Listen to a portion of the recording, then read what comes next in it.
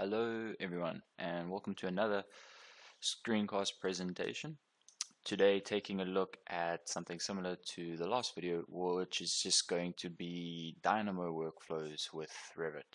So what I want to do today is just take you through some some sort of everyday Dynamo techniques uh, that could be used just in terms of, of modeling. So working a little bit with existing Revit geometry in your project.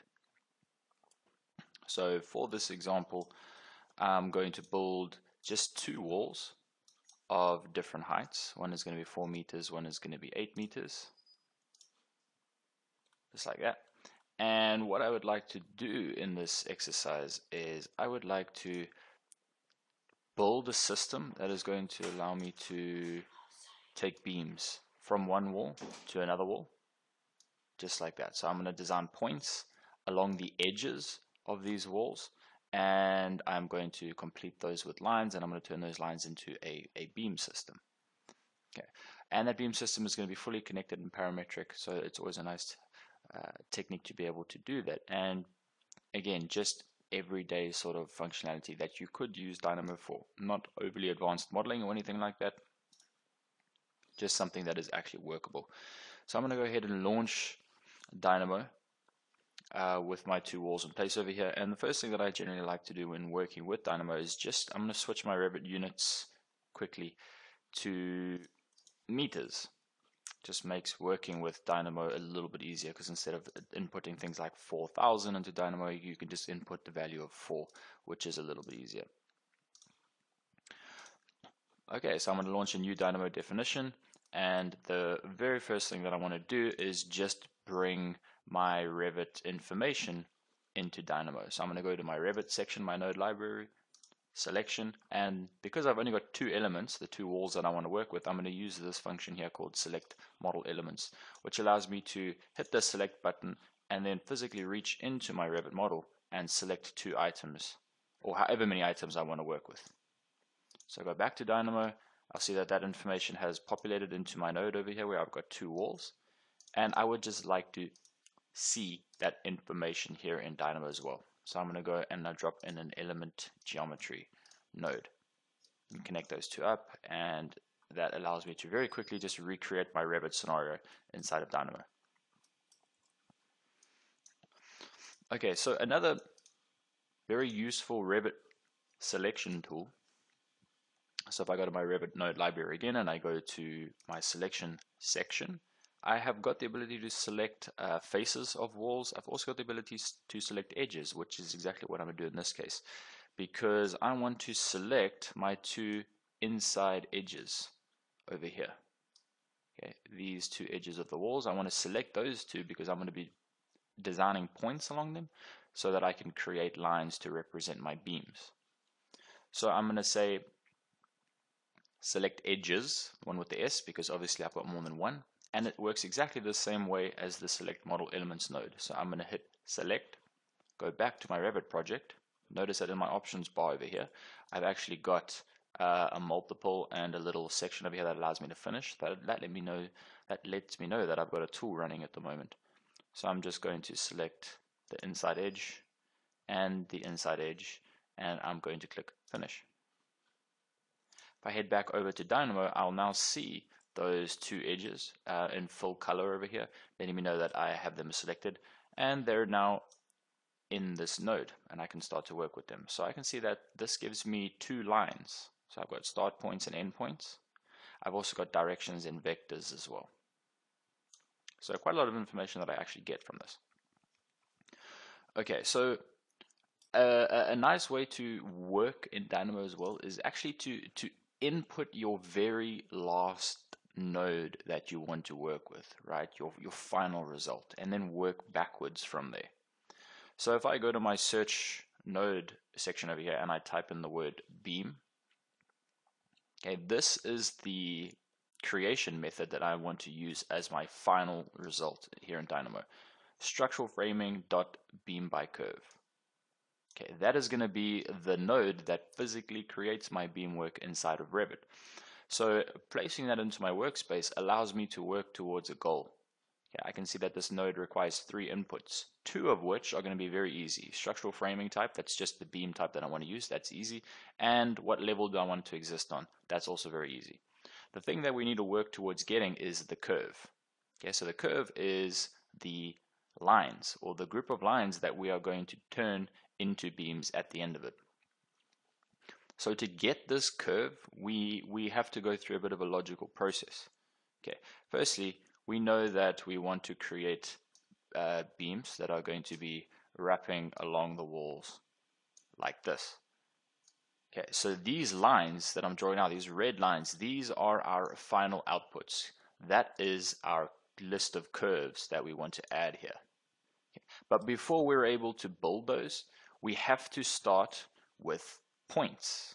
Okay, so the green items are the points that I need to create along this black line that you see here, along the edge of this wall. So I need to create a series of points that I can use as a start point and as an endpoint to create my line. Okay, so that's going to be my, my sequence. I need to first create my points along this edge and my, my points along this edge. I need to connect them together with a line, and then that line can be used to feed into my curve section over here. So I'm going to start off with creating the points. There is a very nice node called point at parameter right here, which allows me to create a series of points along a line. Okay, this requires two inputs, a curve and then something called a parameter. So curves are easy. Okay, they are found here in my select edges uh, node, which I constructed a little bit earlier. So I can feed those two edges into this node. And when I do that, you'll immediately see that I actually get points at either end of these edges. And also for now, it is important to know that they're at opposite ends. That one is on the right hand side, this one is on the left hand side. Then I've got an input here called param. So that is short for parameter. And the parameter considers the distance of a line so if I take this, this line over here, that I've got this edge over here. Okay. Parameter only works between 0 and 1. So we'll take this point over here as being 0, and we'll take this point on this side as being 1. Okay, so that's 1, and this side is 0. Any decimal point in between um, basically defines the location of the point along that line. So we're starting at 0 over here, we're ending at 1. If I had to uh, set a parameter, for example, of 0.1, my point would likely be right there. 0.2 would be 0 0.3, 0.4, 0.5 would be in the center, for example, and so on and so forth. Okay, but what I want to do is I want to create a couple points. I don't want to just have one point. At the moment you start off with one point and if I drop in a slider, for example, I will need to just define my settings here, a minimum of 0 and a maximum of 1. Obviously I can't go to 100. Okay, But if I drop that into my parameter and I start to move it, okay, look what happens to the points in both edges. Okay, as I'm moving it, the point is shifting along. But I'm just creating one point. I want to create a series of points over here. So I'm going to disconnect my number slider and instead of just plugging a number slider directly into the point at parameter, I'm going to use a range node to create a range of points.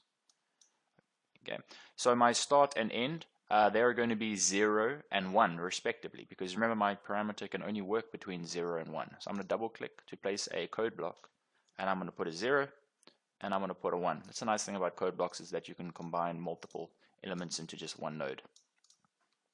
And then my step, I'm going to plug in my number slider. And maybe I'll also change my step value to a little bit less, maybe 0.05, so I can actually have more points to work with. Okay, and I'm going to plug this into my parameter. Okay, I'm going to move my slider over here, and I can see my point is adjusting as usual. What I want to do to create a range or a whole bunch of points is I want to change my lacing for my point at parameter from auto to cross product. When I do that and I adjust my slider, I will see that now not only are the points moving, but as they're getting closer to the edge, they're adding additional points at the beginning. Okay, allowing me to create a range of points along that curve. So I've satisfied the first step of my, my curve creation over here. I've got my list of points that I can work with. Okay, so what I need to do now is I need to start creating lines that obviously go from one point to the other point like that. So that's the next step. Okay, so to do that, I can drop in a line. So I'm going to right click, I'm going to start typing line by start point, end point.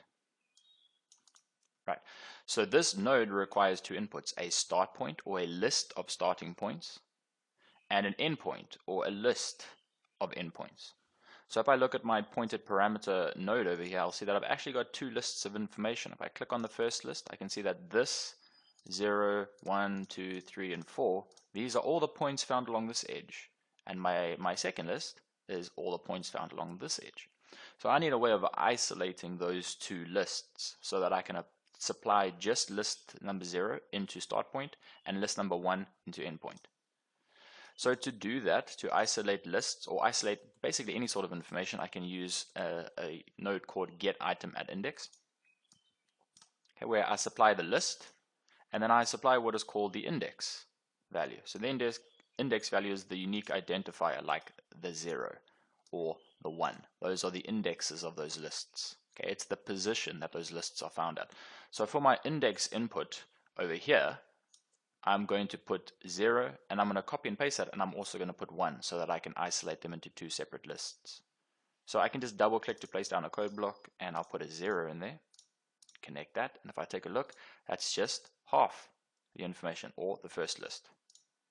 So I'm going to grab both of those nodes, I'll move it up a bit, and I'm going to copy and paste them. And what I'm going to do is I'm going to then just change my index from 0 to 1.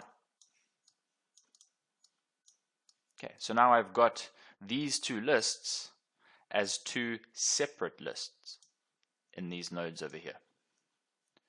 Okay, so if I if I take these and I plug these, because remember these are lists of points, so if I plug these into my line by start point endpoint,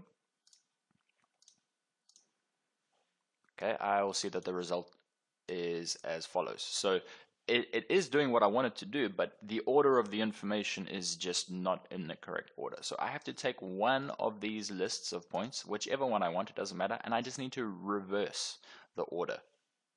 Okay, so to do that is actually quite simple. So I'm just going to disconnect the endpoint and I'll use this. So I can right click and start typing the word reverse. And the first option over here just lets me supply a list of information and it will automatically just reverse the order that that list is found in. Okay, so I'll see the y of 7.753 was lost in the first step, but when I supply it to the reverse list, 7.753 is the first item. Okay, so it very simply just reverses the, the order of information in the list. But plug that in, that's going to work as expected. Okay, and the way that this is set up, uh, using the range node and the curve at parameter, I can adjust the number of points and the spacing of points at any time that I want to okay, which is quite a flexible approach as well. So that is the last step that I actually need to do because remember what, what is required um, in my final node over here is a list of lines or list of curves. Okay, and I have just created that now. So I can plug in my list of lines Okay, the level, as I said, is quite an easy one. I just right click, start typing out the word level, and this just grabs all of the available levels in your Revit project. So I will just have level 1 and level 2 because I'm working with the standard architectural template. So I'll plug level 1 in there, and then structural framing type, which is just the beam type that I want to use. So I can actually start typing out uh, structural framing, and then I will get a node called structural framing types where I can choose from a list of available beams in my Revit project. I've only got one because the architectural template only comes with one beam loaded in. If I wanted additional beams, I would just load those into Revit before I come here and select this information. Okay, I'll just use that standard beam. I'm fine with that for now. So just to, before I complete that node, just quickly go back to Revit. Okay, we don't have anything in Revit at the moment. As soon as I connect up that last section, and I go back to Revit, I'll notice that all of my beams have now been placed along those points. And the nice thing about this as well is just that because the edges of the wall are being used to define the points, if those edges are manipulated in any way, the beams are also going to be manipulated. So if I take this wall and I decide that I need to actually make it longer, okay, all my beams are going to update because that edge is moving and Dynamo and Revit has a dynamic link between the two. So anything that changes in Revit that I've got in Dynamo is also going to change in Dynamo. So if I increase the height of this wall, okay, again, same thing is going to happen. It's going to take some time and then it's going to adjust. Okay, so I've got a fully parametric beam system here that I can manipulate in any way that I want to. Okay, so that is everything that I wanted to, to cover today. Like I said, nothing advanced, just a very basic way of how Dynamo thinks, how it reacts to Revit, and some of the ways that you can actually get your Revit geometry into Dynamo and start working and manipulating it and creating some interesting um, effects and relationships between different items. I hope you found this useful, and thanks very much for watching, and I'll see you next time.